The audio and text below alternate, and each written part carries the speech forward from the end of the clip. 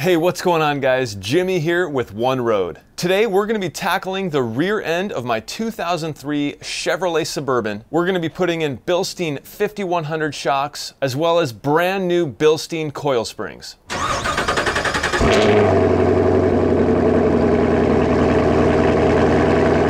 Now in my last video, we replaced both of the front shocks with brand new Bilstein 5100s. We took it on a test drive and I was shocked at just how much better those new Bilsteins performed. As a matter of fact, if you take a look at the old front shocks here, you can see one of them has completely failed and will not return to its original state, and the other one is on its way out. Although this truck only has 78,000 miles on it, these shocks are 15 years old, installed from the factory. So I'm just gonna go ahead and assume that if the front shocks were that bad, the rear shocks must be just as bad. The thing is, is the rear shocks are special Nivomat auto adjusting shocks. So they actually provide some of the lift to assist the rear coil springs. Now, according to Bilstein's website, you can't just take these 5100 shocks and swap them out for the Nivomats because then the back end would sag. So what they recommend is replacing the rear coil springs as well. The part number on these new Bilstein coil springs is 199020. With that being said, the first thing we need to do is put the rear end up on jack stands. With the vehicle up on jack stands, I am now going to remove the two shocks. We're gonna have one bolt at the top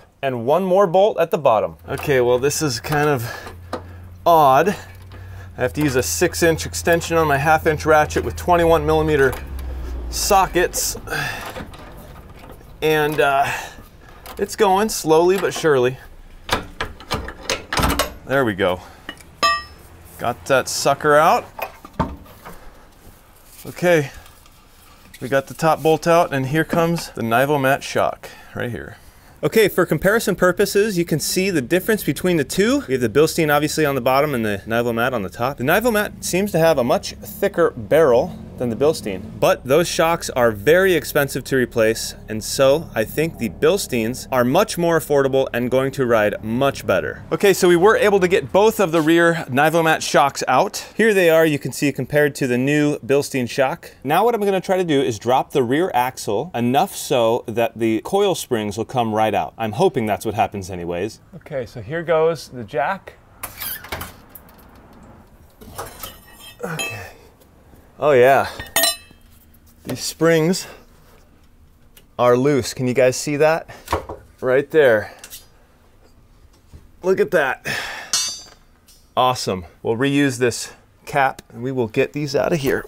Here you can see the difference between the stock original coil spring and the Bilstein. They seem to be just about the same length. The Bilstein might be a tad longer, so it should theoretically fit right back up in there. Now it might take some wiggling here, but I think it's gonna fit just fine. Yep, there we go. Perfect. It just sits right on that hat that was already there. And up here, it's actually got tons of room. So what I'm gonna have to do is jack up the jack with the other spring installed, slowly but surely, making sure this stays lined up until there's enough pressure to hold it in place. All right, so this is the passenger side, and I'm going to attempt again just to slide her right into position. I don't think I'll have an issue. Just hope that rubber hat doesn't fall off. Let's see here, get up in there. Okay, just like that. Okay guys, so I am currently going through the process of jacking up the rear end little by little and making sure that everything is seated correctly on each side as I jack it up.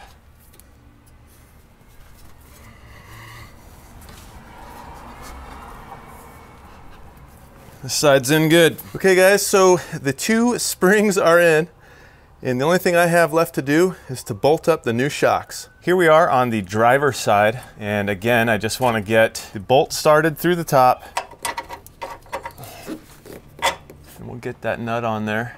All right guys, I'm not gonna lie, definitely doesn't hurt to have an air tool available to get this thing zipped on real quick. So let's get this into place. We're in the forward position good to go. Okay, so in order to get the bottom of the shock into position. You're just gonna have to use some muscle. Get that sucker in there. Start your bolt and push her through. Get that nut on there started. Grab your adjustable wrench. And here we go.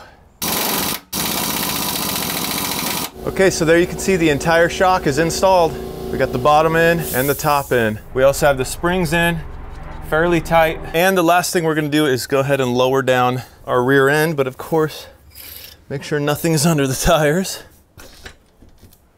And with that jack out of the way, the shocks themselves are holding the rear end just enough to keep our coil springs pretty tight in there until we get these rear tires on the ground. So I'm just gonna jack this thing up. Remove jack stand on one side, lower it down slowly.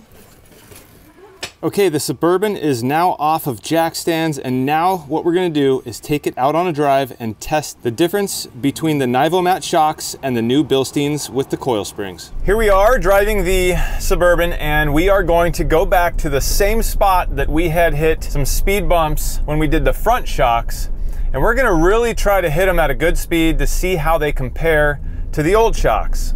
So far, just driving on a normal road, everything seems pretty much the same. I can't really tell a huge difference. Of course, there's no big bumps or anything that would really work the shocks. As for the springs in the back, I don't feel them being extra hard or anything like that. They seem basically the same. Okay, so here we go on another speed bump. Gonna hit it pretty fast.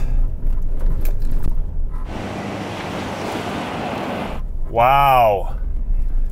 Very, very controlled. Okay, so we're coming up to another speed bump here. And here we go. Wow, doing 25.